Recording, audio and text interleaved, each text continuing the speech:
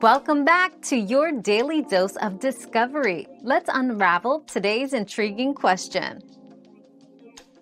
Smoking an old vape can lead to a subpar experience due to the potential degradation of the e-liquid. The nicotine strength may diminish, and the flavors might taste off or stale.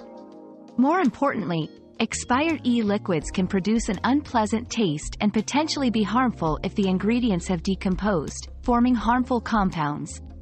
For your safety and the best vaping experience, always check the expiration date and store your vaping products properly.